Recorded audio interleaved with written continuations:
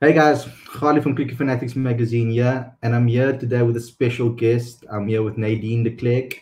You guys might have seen her playing for the Proteas, obviously, of course, in the World Cup, famously.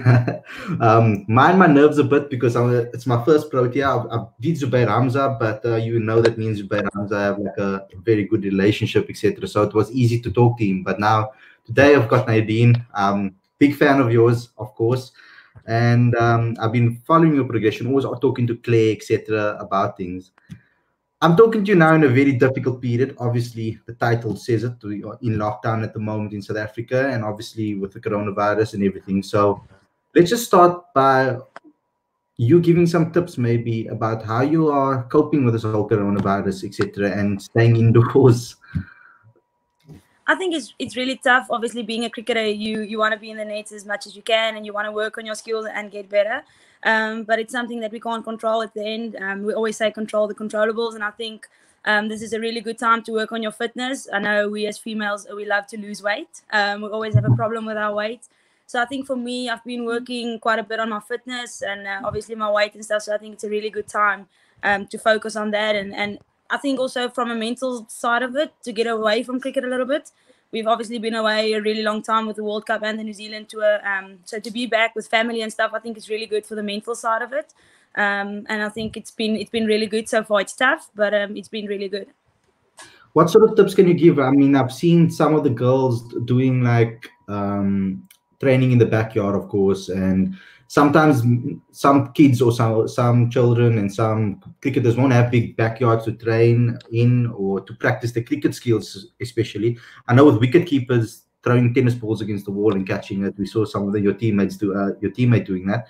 Um, give some tips maybe first of all from a fitness point of view and then also as well how to keep your cricket skills sharp during this period being a batsman being a bowler etc I think it's it's really difficult if you don't have if you don't have the space in the backyard. Um, I mean, some of us are lucky enough to have a, a small little space to do something. So, um, but I think even though you don't have the backyard, it, it will be a bit difficult with cricket skills. I think, but um, I think from a fitness point of view, there's a lot of if you even if you go on the internet, there's a lot of um, body weight stuff you can do. You can work really a lot. You can you can strength yourself a lot and um, you can do a lot of running even if it's in the house even if it's 20 meter sprints or whatever but um, i think from a cricketing point of view it's very difficult. I haven't touched a bat or a ball since i got home from the world cup so it's really frustrating as well um, not being able to to work on my skills but like i said at the end of the day there's nothing we can do about it. Um, we have to stay strong throughout this whole phase that we're going through and but i think you can really work hard on your fitness and, and improve on that and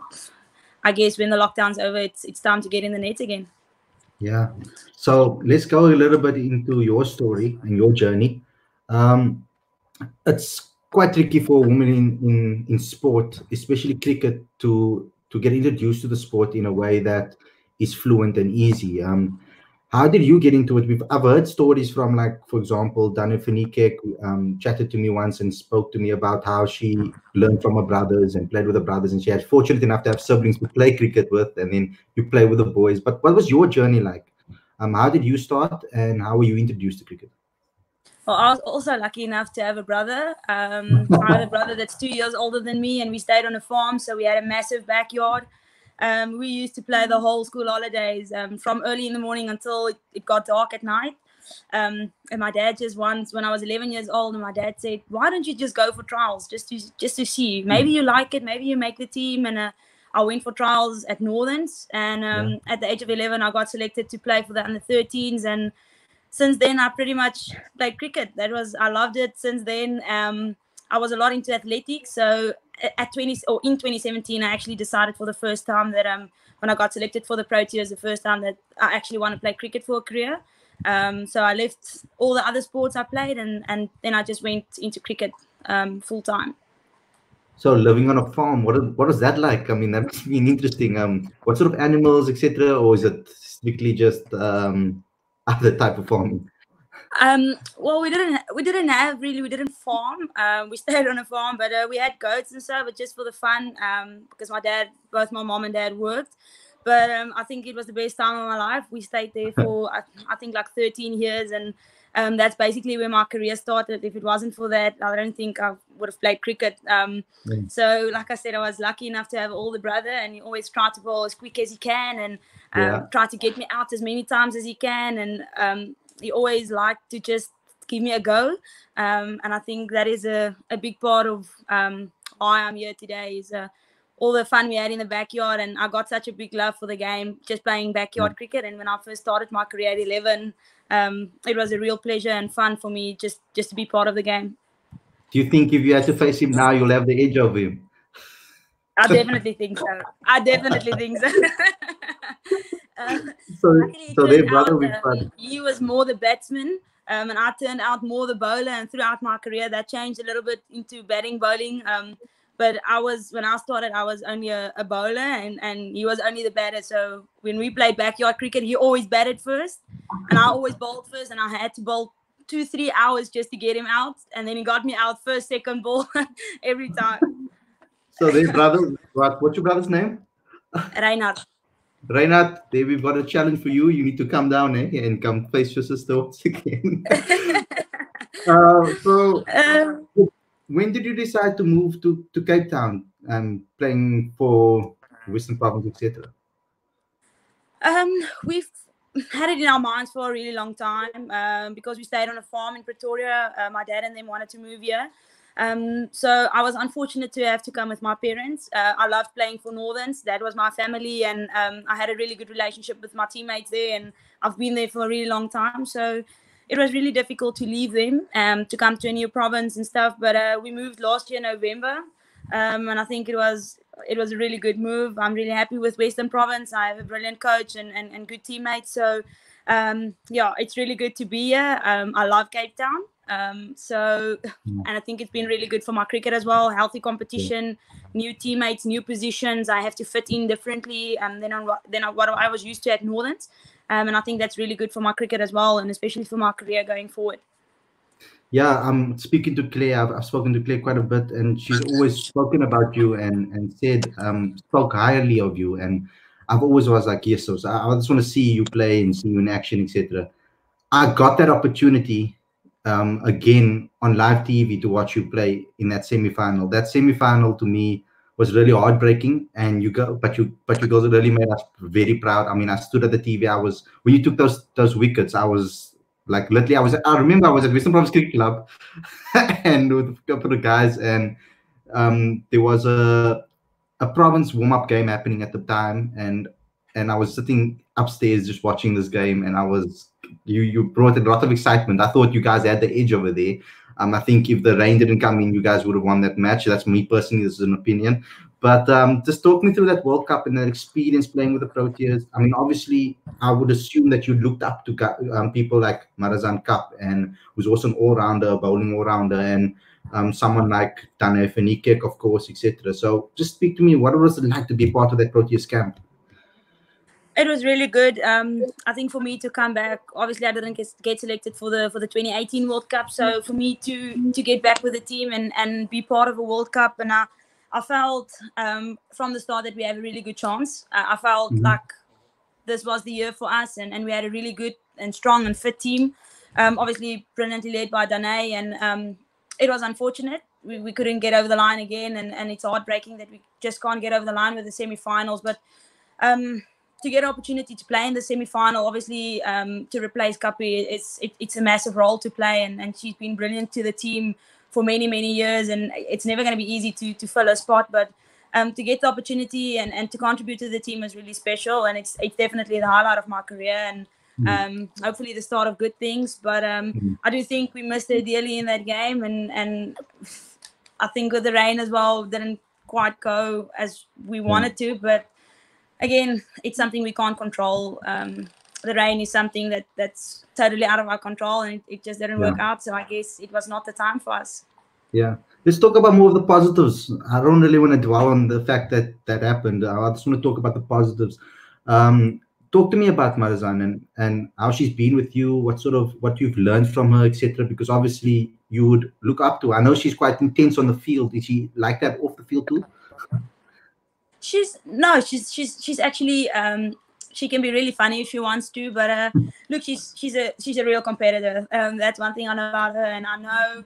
Um, I remember her face when uh, when she couldn't play in the semi final, and my heart broke there and then for her because I know what what an impact player she is for South Africa, and she's she's been for the past ten years or eight years. Um, so to lose her in a semi final and, and and the devastation on her face, I know it's, it's really tough. Um, but she's brilliant. I mean, if if there's one player in my team that I can probably look up to the most, it's her. Um, I know starting off at this young age and and looking up to her, that's exactly where I want to go. I mean, she's also all rounder, so obviously she's the perfect example for me to follow, and she's just been so brilliant. And I, I, feel so sorry for her for the World Cup because she's been in she's been in really good form. I felt she played really well in the New Zealand series and and the couple of games she played in the World Cup, she was in really good nick. Um, and I think if, if we had her in that semi final, I think it might have been a little bit different for us. But um, as long as she's recovered now, and, and hopefully um, when we get back on the park, we'll have her on, on the field again. And let's talk a little bit more about Western Province. I see um, Claire's very much loved by all the girls in that team, and um, I've seen the impact that she's had on a lot of players' careers from a young, and it's a very young bunch of of a squad. Um, you guys, you have guys like um, you have someone like Andy Klobera there, who's, who's an up and coming star. You've got yourself, who's still still quite young. Um, just talk to me about that and how how much she's helped your career, taking it to the next level.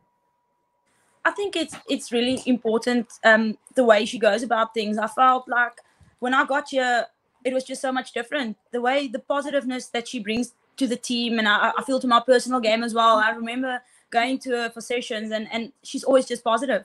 There's never yeah. something negative to say. Even if it's a really bad shot she will always say something positive about the one bad shot you play. And um, she will make you feel good about yourself. And i think that's really something um, that almost gave me a little bit of fire is to to be better. Because she's really she's so positive. And i've, ne- I've never met a coach in my career that's that positive and i never and never being and that's really for me that's special because I'm I'm a player like that. I need something positive. I need some good information to get me going. And I felt yeah at Western Province that's really what I got. Um, not only from her but from my teammates as well. And she's been brilliant. I love working with her, even though she throws a lot of short balls. Um, she's been really good and, and she helped my career a lot in this short space. I've only been here six months, but um, I can already already feel that I've improved a lot, not only with my batting but bowling, fielding, um, and it's it's a real pleasure to play for Western Province. Yeah, um, I think Claire is just like that in general. That's as a human being because I mean I speak to a lot of the field and we have chats. And when I'm bothered about something, I normally come to her and ask for advice, and she's always positive. And I mean, I messaged her before our interview, and I told her I don't know if she wants me to say this, but I told her um, yeah, I'm quite nervous about this one. And she's and and she's like, no, don't worry about it. Don't, just be yourself, you know. Um, she's like, no, you've already. I said, I, why I'm. She asked me why I'm nervous, and I said, no, it's because it's my first Protea. But she said, and I said I didn't count Zubair because we, me and him talk a lot, so I'm used to talking to him. She's like, well, it counts as a Protea, so don't worry. It, to keep me to keep me positive like that, I mean, in every single life, she's an amazing person. Um, no, she's really good yeah so going forward in your career right now um, i want to talk a little bit more about the women's game in general and how it's how it's growing because it's it's phenomenal how it's growing i, I really enjoy watching women's cricket um, any time, chance that i do get free that i can watch i try to watch um, i'm still need to support the um, the local team here more and go to more of the games. It's always clashing with other with other uh, cricket, and for me as a journalist, it's quite difficult to cover everything. But talk to me about the women's game and how it's growing and and what inspires you the most about about the game at the moment. Um, obviously, I've only been in the setup for, for about three three or four years now. So, but I spoke a lot to to Mignon and them, and they said that the young the youngies coming in now are so privileged because when they started, there was nothing. Um, they played for fun. Um, but mm. when I remember when I went to the first World Cup in 2017, and and when we did so well and we came back, a lot of things happened um, for the women's game. And, and I know there was a lot of improvement in contracts and all of that. Um, so I think it's really heading in the right direction. I think all the, the Super League that we have now and, and just a little bit more to get women's cricket involved. Um, mm-hmm. The exposure that we're getting, I think it's it's still not there yet, but I think um, there's really a lot of improvements, and I'm excited for the future. I think there's a bright future for women's cricket um, in the near future, and and and hopefully, as South Africans, we can we can really fire that up. Yeah. So guys, you guys can comment in the comment section. Uh, know whether you're watching it on YouTube, whether you're watching it on Facebook, put your comments in. We're going to have a section at the end of the show where we ask getting your questions. So anything that you want to ask, just get them in. So you you spoke about that and about women's cricket obviously evolving, etc., etc. Um, as a youngster, um, I mean, it's quite tricky because you've now experienced some some international cricket quite quick, quickly, and you've got younger guys playing in your in the Western Province team now. How do you manage? How do you aim to help them um, actually aspire to their dreams and their goals? Uh, in what way? Are you a person that tries to show by lead by example, or you're more of a person that tries to teach like specific mental methods or things of coping mechanisms? I think for me, it's it's it's really leading from the front because um, I guess it's easy to talk a lot. It's easy to to tell them mm. all of these things, but if you can't do it yourself, then then what's the point of it? So I'm a really strong believer of leading by example, and I, I feel that's that's why I look up to to Marizanne Kapp the way I do. Is she always leads by example, um, and I feel that's really important. Even if it's fitness, if it's fielding, batting, bowling, it doesn't matter what aspect of the game is. If you lead by example um, the youngsters will try to follow in your mm-hmm. footsteps. And and at the end of the day if you work hard the results will come. And then the youngsters will see the results and that's what they will they will want to work for that. Because at the end of the day there's results. Um but i feel talking is a lot easier. I'm not a big fan of only talking. Um so i'm, I'm really I'm really that type of person of, of leading by example and, and I hope I do that in South Africa even if it's in, in small ways is to inspire young younger players than me. I'm obviously still young, but younger players, the under 19 players or the girls coming after me and, and, and the young ones really is, is is to work hard and, and to look up to, to us as the national players at this moment and because we need the young ones. Obviously there's there's a next batch of players that needs to play in the in the World Cups coming up in the in the future. So hopefully we as a team can lead by example not only me but but from the from our captain Dane until the youngest in the team to me and and Laba and and we can set the example for the young ones. Let's let's go through a little bit about uh, through your training regime etc when when the season's on again. Um, being an all-rounder is quite a tricky um, what can I say, role in the side because obviously you have to practice your bowling and your batting, batting equally to fit in both because I mean some guys even struggle to just fit in their own schedules and just I'm talking about now just doing their bowling or just doing their batting. How do you balance the both and be able to what's your training regime like during the season?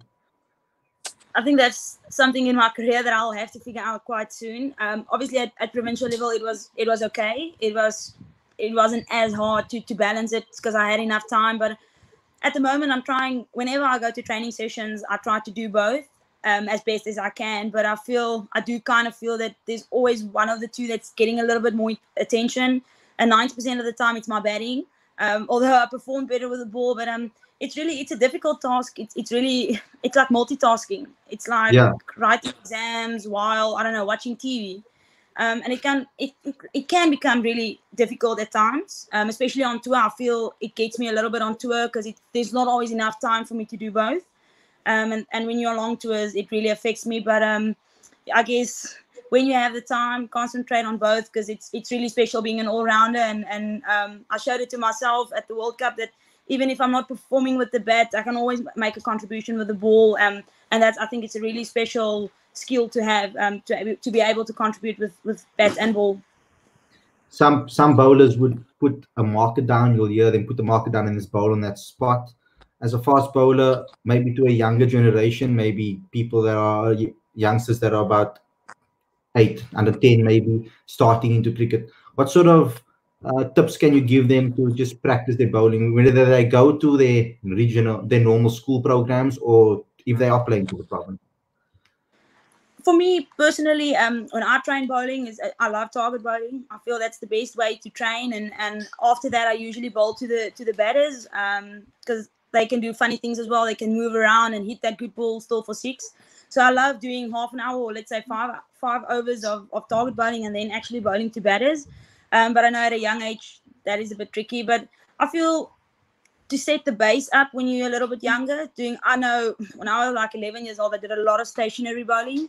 just to mm-hmm. get the technique right and all of that and then you slowly you slowly progress from there and then it's your three steps and then your five steps and until you eventually get to your to your full run up and um, if you can hit that i mean i don't know how many bowlers can do that but i, I still can't hit three out of six balls on the cone um, so i think if, if you have a skill like that and you're really consistent with that um, especially starting from a young age it's, it's a really good skill to have Cool. So lockdown, not only about cricket and practicing cricket, etc. You need some time to to kill.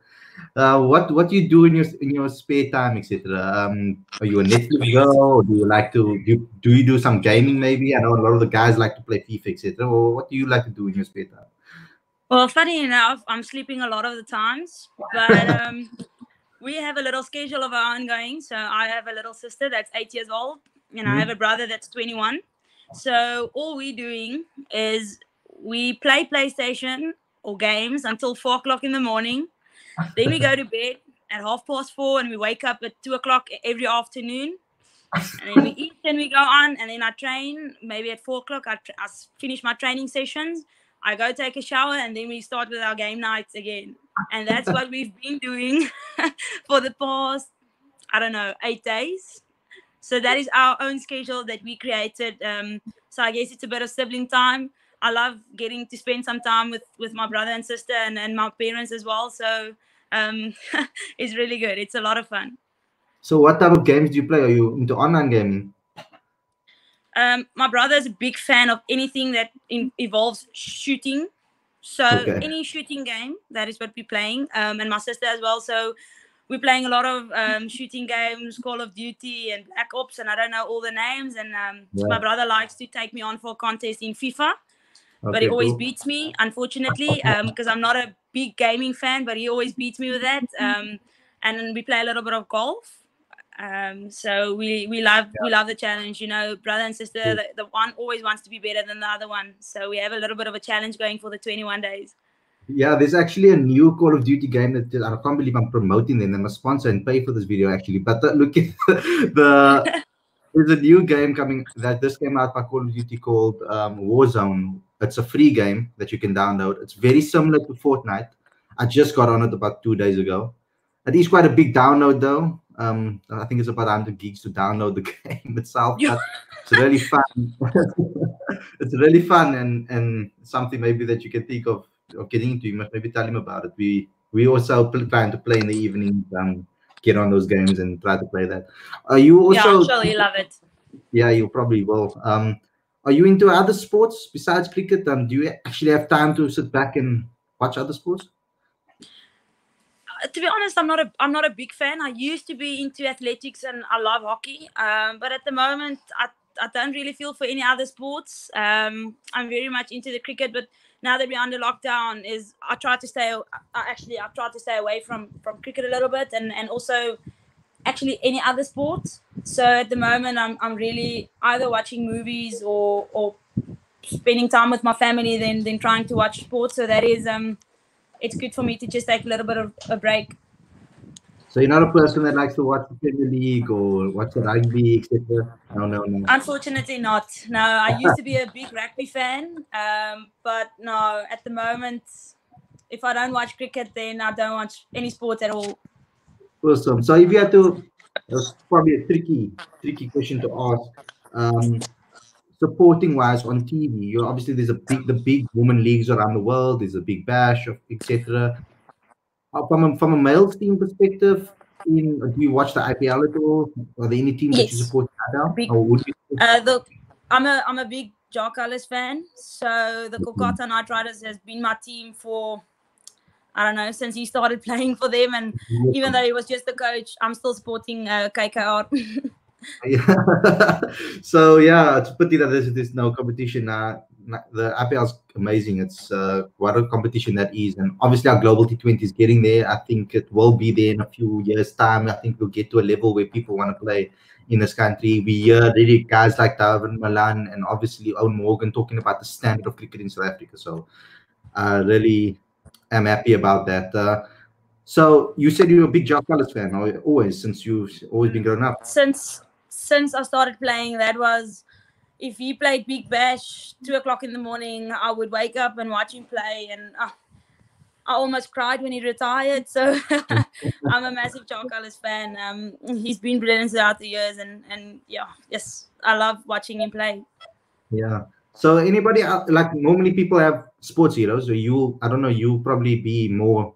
You seem like a person that is very involved in cricket, and you in obviously feel like you can immerse yourself in the game and that's how you obviously get your inspiration it, it comes across like that to me when i'm talking to you but yeah. do you have any other sport because you don't watch any other sporting heroes so um, with regards to other heroes maybe musicians or actors or so things like that that you look up to or people that you look up to not at all um um like i said i'm i'm, I'm a cricket fanatic um so yeah. yeah i don't i don't really there's there's a lot of there's a lot of actors that I that I enjoy watching and, and, and musicians. I love music. Um, that is really one thing that we do all the time. My parents always complain because the music's always loud. Um, but we love, like all three of us, we love music. Um, but there's not really someone I look up to. Um, apart from my cricketing heroes, I have quite a few. Um, some of them cool. still playing, some of them retired. Quinton de Kock, definitely one. Um, AB de Villiers, Ben Stokes, Jos Buttler. Um, awesome. So I have quite a few that I really look up to. But apart from cricketing heroes, uh, not really going much on. uh, how many of them did you get to meet? Um, um not actually anyone. I met AB de Villiers way back when I was a little girl because my cousin played with him. Um, and then Quinton de Kock, I took a picture with him once, and Faf, I took a picture with. Oh, and Jacques Kallis. But um, yeah, that's that's about it. Now, come on, guys, you've heard it. Uh, Quinny, get on board. Come on, guys. Like, listen, Jock out there, all of you. So, today, here, guys. I she's amazing voice. She deserves it. so, get on board if you are watching it.